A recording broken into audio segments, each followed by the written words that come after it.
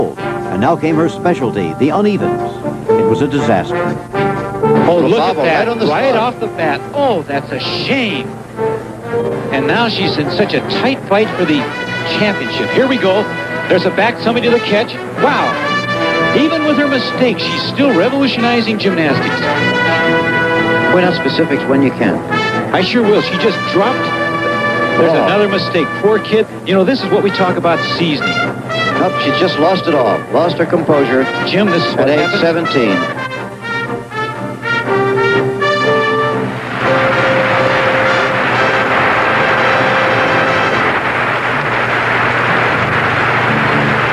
The small, vulnerable figure left the floor defeated. The confidence was gone. As Coach Polina Astakhova tried to console her, tears began to flow.